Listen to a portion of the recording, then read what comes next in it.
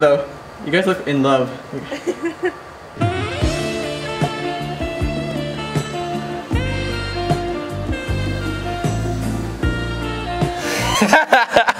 I'm gonna put it in there.